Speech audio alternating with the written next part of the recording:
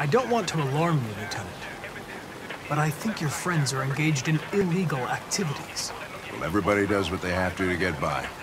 As long as they're not hurting anybody, I don't bother them.